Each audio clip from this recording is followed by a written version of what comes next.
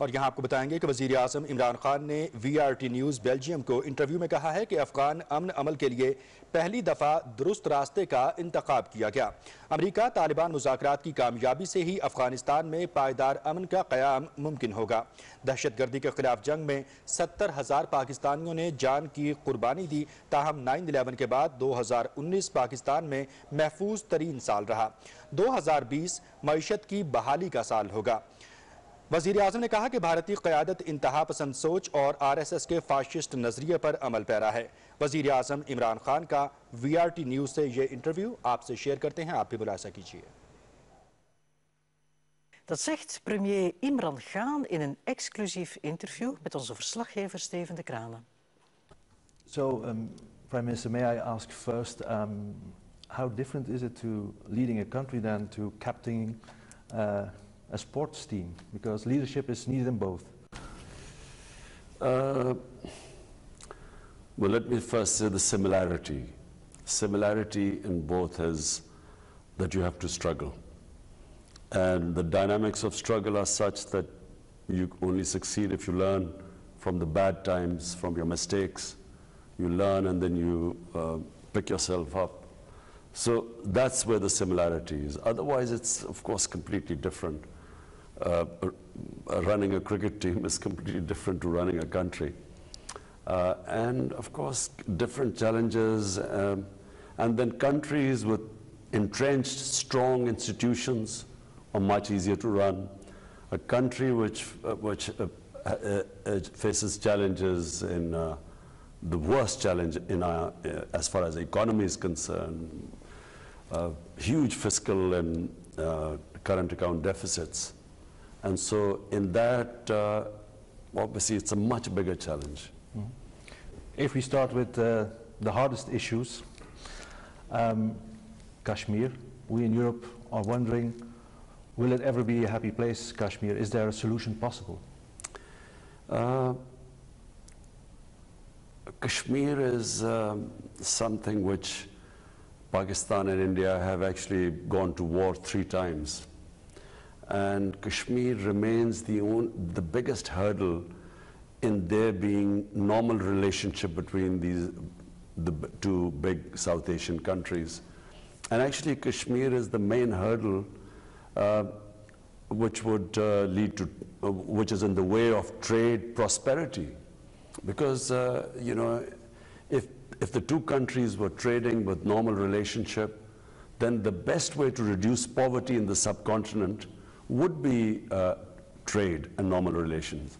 So Kashmir has uh, a problem that ha- has been very difficult to, uh, to uh, uh, sort out because uh, unfortunately, you know, India feels it's a stronger power, might is right, whereas the UN resolutions in way of 70 years ago, according to them, the people of Kashmir had the right for self-determination. They were supposed to, through a plebiscite, decide their destiny. They wanted to go to India or Pakistan.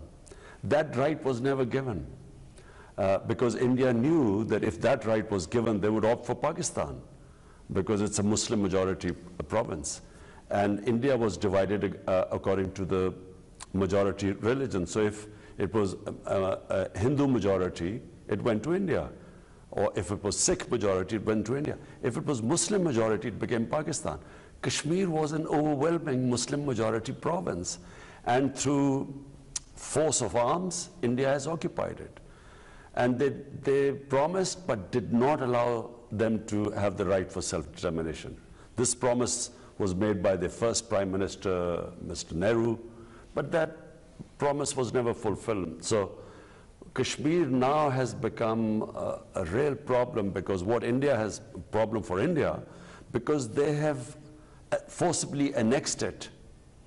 It was a dispute between Pakistan and India. They have annexed it unilaterally.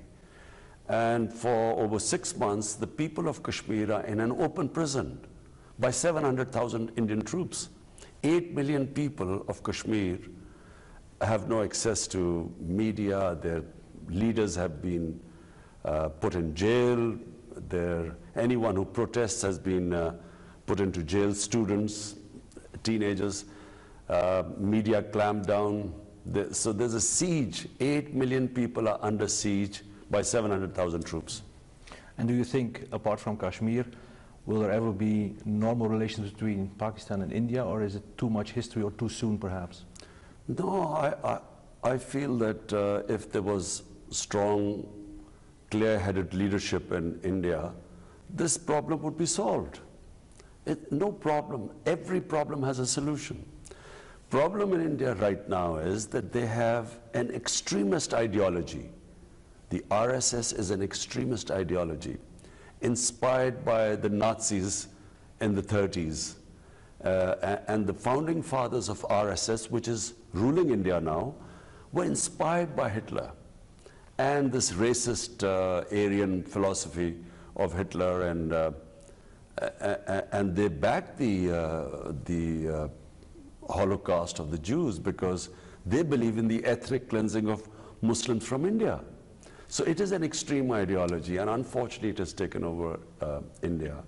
And that's why they have they have put these 8 million Kashmiris who are Muslims, they put them in an open prison. So I do not see much hope uh, with this government, but I do see that in future, uh, an Indian government, a strong leadership, they would want this issue to be resolved. And as I said, every problem has a solution. Talking about uh, solutions, in Afghanistan there are talks between US and Afghan Taliban. Um, what is Pakistan doing to make it, it a success? Well, uh, first of all, you must remember that uh, in Pakistan there are still 2.7 million Afghan refugees here. And there are uh, refugee camps which have uh, over 100,000 people still living here. So um, what Pakistan can do is uh, put leverage on the Afghans, on the Taliban, some of whom have families here, uh, to, to make peace in Afghanistan. And I can assure you that Pakistan has tried its best. I, since my government has come in, we have left no stone unturned uh, so that there would be peace in Afghanistan. And uh, fortunately, things are moving in the right direction. It's not going to be easy because there's been 19 years of conflict. But it is for the first time moving in the right direction. The Americans are uh, uh, uh, wanting peace and dialogue with Taliban, and Taliban have now sitting with the Americans. The next phase would be ceasefire, then possibly an agreement if the ceasefire goes well then an agreement, and then I guess the next phase would be the Taliban up with the Afghan government. Mm -hmm. And what about Pakistan? If you move to Pakistan, are the dark times over because there were some very hard years also for Pakistani people with uh, terror-related incidents, um, bombings, shootings. Do you think that extremism is stamped out? You see, let me explain what happened in Pakistan. So you need to know the history. In the 1980s, Pakistan uh, was backing the Mujahideen, who were backed by the Americans and CIA and the Western countries, to fight against Soviet invasion of Afghanistan. So it was called the Afghan Jihad. So Pakistan backed the Afghan Jihad. A lot of the Mujahideen came from different countries to fight in Afghanistan. And this was all, of course, encouraged by Western countries. And uh, and of course uh, backed by the Americans. And a lot of these groups were trained in Pakistan. So once the, when the Soviets left Afghanistan uh, in 1989, Pakistan and Afghanistan were left with these uh, militant groups, these guerrillas, these uh, uh, different Mujahideen groups. And so come 9-11, now the United States lands in Afghanistan. Now the same groups who were told that jihad was a good thing against foreign invaders, because the United States came, they now are told that no, against the United States because these are the good guys, it's terrorism. It was jihad against the Soviets. So of course, not all of them understood, and Pakistan, by joining the US war, we ended up these groups turning against Pakistan. So that's when we went against this period of uh, terrorism, suicide attacks. 70,000 Pakistanis lost their lives in, in that 10, 12 year period. Uh, and fortunately, and full marks to our security forces, and especially our intelligence agencies, who gave great sacrifices, but they now have controlled the insurgency. And, and I was, I'm very happy to say that my first year as Prime Minister, 2019 was the safest year in Pakistan since 9-11. Okay. If we move to, to another hard issue, you, you've spoken about the economy, uh, double-digit inflation, huge debt, uh, loan with IMF. People would say, how can you succeed? But in the street, people tell to me, the Prime Minister is very resolved because he, prove, he has proven it in cricket, he has proven it with the hospital, he has proven it be becoming Prime Minister. But what can you do to be different than your predecessors to really make it work? Well, it's like if your house is, if you inherit a house which is bankrupt and their creditors coming to ask for their money back and their loans and the, someone is coming for rent of the house, others are coming for the rent, you've rented a car or something. So for a while that house goes through a tough period. While you cut your expenses and you raise your revenues, so you, you no longer are indebted, and so you don't have to borrow, and then you have to pay the, uh, the interest on the loans. So that is a tough period. Every house which borrows uh, and where the expenses are more than its uh, revenues, every house goes through a tough period, and every country which has been in the same situation as Pakistan has to go through what is called the structural readjustment, where you raise your revenues to match your expenditure. And while you cut your expenditure, obviously, you know, the people go through a bad time. Uh, not only did we have this big fiscal deficit and current account deficit, uh, we also have uh, bankrupted utilities. Our electricity, uh, uh, you know, had incurred huge losses. So we had a huge debt in electricity. And then our gas, so that affected our industry because the cost of, because of these huge debts, you had to raise the uh, prices of electricity and gas. Uh, and when you raise the prices, the industry got affected because that can't compete with the exports of your neighboring countries, which means you can't reduce your deficit. So you're caught in this debt trap. Um, and so uh, the first year was very difficult. 2019 was a very difficult year for Pakistan. But now, fortunately, we brought the current account deficit down by 75% in one year, which is, which is, uh, which was tough but good. Uh, we, I, in, exports are increasing not that fast because the world at the moment, the uh, economy in the overall in the world is slowing down. But we've cut down our imports. We've tried to um, uh, work on our electricity sector so that, you know, we cut down the losses. So, you know, it's been a tough period of readjustment. And I expect that, you know, this is the year 2020 where we will, the economy will show signs of recovery. Yeah, because um, you've spoken about priority lifting 100 million Pakistani out of poverty, uh, new Pakistan. What is your vision for an ideal Pakistan? Which kind of country would you say Pakistan should be? Uh, new, my idea of Pakistan is what was the founding fathers' idea of Pakistan, which was an Islamic welfare state, a state which is just and humane, which, uh, which uh, uh looks after the state, looks after the bottom tier of the population, the weaker section of the society. And in, you know, if you ask me, the, well, the first Islamic state was the first welfare state in the history of mankind some uh, 14 centuries ago. State of Medina? Or, state yeah. of Medina. It was a welfare state. And it was a state which had rule of law. It had rights. Every human being had rights protected by the state. And that was the basis of the civilized state which became, which, which laid the foundation for the next seven centuries, it uh, became the leading civilization in the world. And of course, emphasis on education, which was laid by our Prophet, peace be upon him. So therefore, that's my ideal. And uh, if you ask me in modern day which state would, would resemble that, I would say Scandinavian states because they, are very, they have very high welfare. I find them very civilized. And what China has achieved, China has taken, uh, taken out 700 million people out of poverty in the last 30 years. But different political systems, uh, welfare state, tax collection is needed then? Uh, uh, look, first of all, you need to have direction. Uh, you know, the leadership in a country needs to know where it is headed, what it wants to achieve.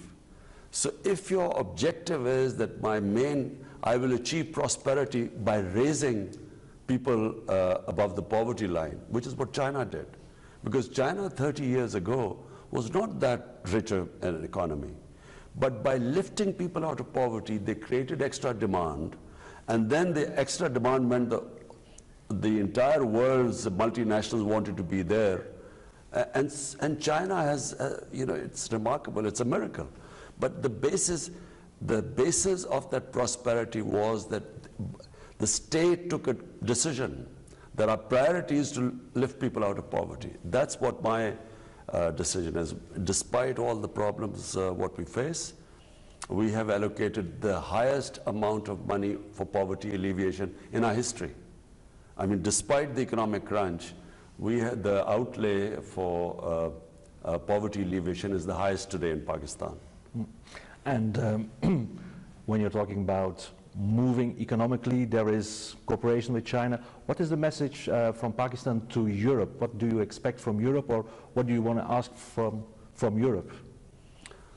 Well, um, trade really, Europe has been very good to us. We have got the GSP plus, which means, you know, we get uh, preferential trade uh, agreement with Europe, and that's very positive. Uh, and of course, uh, you know, Europe is, a, is one of Pakistan's biggest trading partner. So trade really with Europe. Pakistan is open for business, even in Gwadar. There's still room and place in the port for European companies and countries to invest. of course, you see, um, a CPEC just gives an opportunity to connectivity to China. But it's not exclusive. I mean, Chinese also would want this to become an investment hub for for companies from all over the, uh, the world, especially in Europe. Mm. Talking about climate change, Europe, there's a lot of um, political debate about it, but um, it's one of Pakistan's main challenges as well, and Pakistan is doing a lot. Why is Pakistan doing a lot? Because in contributing to the problem, you're not a big player, so you're doing a lot for solutions. Uh, well, first of all, I'm, I'm a I was always an environmentalist because you know, I loved hunting, I loved shooting.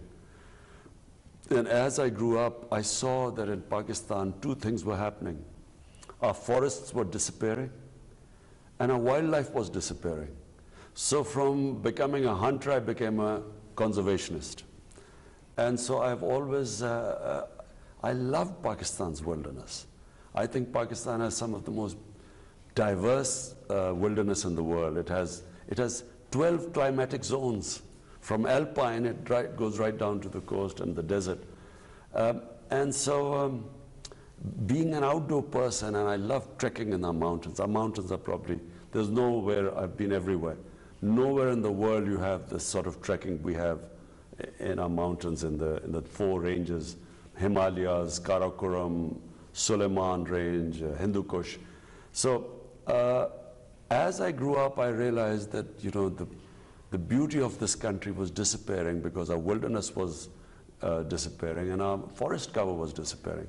So when my party came to power in, uh, in uh, uh, uh the, the Khyber Pakhtunkhwa province of one of the four provinces, so we decided to plant one billion trees in four years. And we, we did it. And now we've set ourselves targets since I became the Prime Minister of 10 billion trees in Pakistan. And uh, it's, it's really to improve our environment, improve our forest cover, bring back wildlife. But Pakistan is also likely to be affected by climate change more than other countries because our, this country depends on our rivers. And our rivers, 80% of the water in our rivers comes from the glaciers in the mountains. And because of global warming, these glaciers are melting at a fast rate, and, and that is a big worry for us. We have the impression in, in Europe that Pakistan is opening up to the world, getting out of isolation, um, and tourism could be a driver to get um, more people from all over the world to, to Pakistan. Are there special measurements taken to even accelerate tourism? Yes, we've opened up uh, Pakistan. 70 countries can get visa at the airport. Uh, we have opened up all our areas. Uh, and now that it's been one of the safest years, 2019, our tourism doubled in one year. So, uh, so uh, Pakistan offers probably the most unique tourism in the world because it has, it's because of its diversity. Firstly, it's an ancient land. The Indus Valley civilization is 5,000 years old. Secondly, it is home to four uh, world religions. Uh, Sufism, it has some of the ancient sites for Sufism. Then Hinduism, it has ancient sites for the Hindu uh, religion. Then Sikhism, it has two of the most revered sites in Pakistan um, for the Sikh religion. And then, of course, Buddhism. The north of Islamabad was the center of the Gandhara civilization. And that is, uh, you know, one of the more, for the, for the Buddhists, this is one of the best places for visiting their ancient sites. And on top of it, we have our mountains in the north. And we probably have the most unique mountain uh, uh, uh tourism in the world. Firstly, it's undiscovered, not many people know about it. Half the world peaks over 24,000 feet are in, in Pakistan, including the second highest mountain. So it has diverse tourism. And the cities, three cities, are over a thousand years old. So in that sense, Pakistan is undiscovered.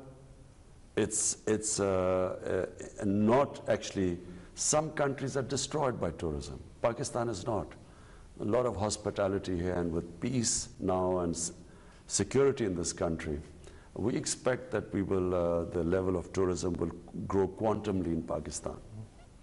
Uh, finally, may I ask you some two perhaps more personal questions which uh, trigger me. Um, why did you, as a famous sports star, came back to Pakistan?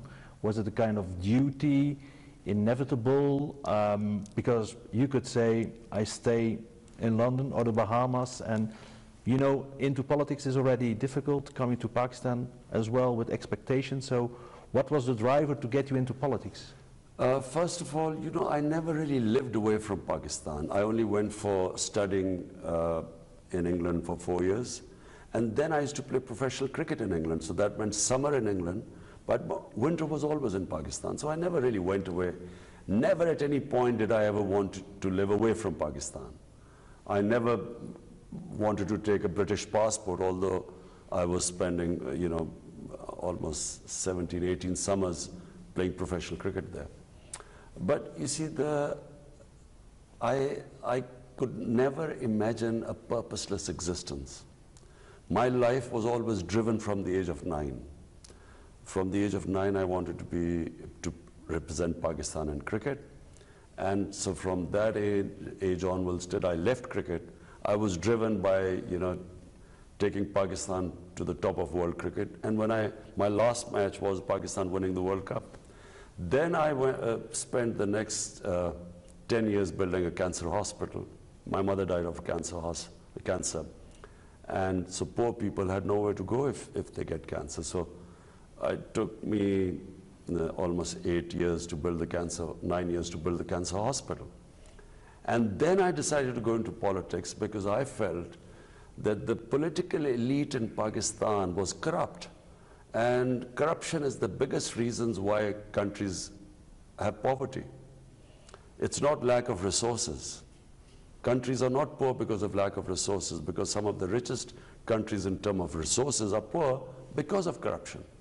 So I came in on an anti-corruption platform some 23 years ago. And because I was uh, fighting the political mafias, that's why it took me so long to succeed. And then it's, it's related to, to the, the previous question. The image which I read also from, from British tabloids, was more like a very liberal, young, successful cricket star, becoming a more religious person. How hard was that, or was it just also another aspect that people in the West didn't see? Look, if a human being is lucky, if they're lucky, sometimes during their life they will ask them, themselves two questions. One, what is the purpose of my existence? And two, what happens to me after I die? And if they are luckier, they will find the answers in spirituality. Because science does not answer these two questions. So, like everyone else, uh, all the time I, I would self-analyze, analyze my life. I had more fame than anyone in my country. I had love in this country and an easier life, a privileged life. So I could have spent the rest of my life actually just talking about cricket and living very well.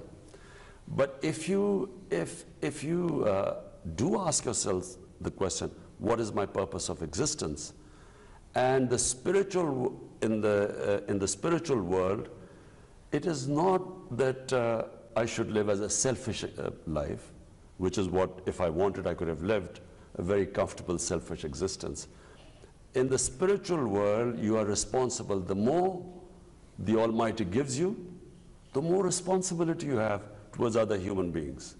Hence, my life turned from first uh, to build a hospital for poor people, and then uh, to enter politics and, and build a welfare state.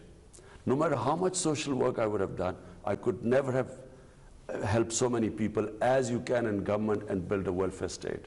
So it is all part of that spiritual journey which comes from asking these two questions. And finally, um, given the challenges of, of Pakistan, giving the history, giving what they call the establishment, which there are the other parties, um, are you never afraid to take up the challenge? Because this is a country where the life of a prime minister means a lot. Well, you must understand that when you, when you move towards spirituality, so one thing that happens, uh, and my uh, faith uh, tells me, that life and death is in Almighty's hands. And all you have in your hands is effort. We human beings, all we have is the ability to struggle. Whether we succeed or not is not in our hands, it's in Almighty's hands. So I do not fear death, I don't fear failure. All I know is that I will try my best, and once I've tried my best, I leave it to the Almighty.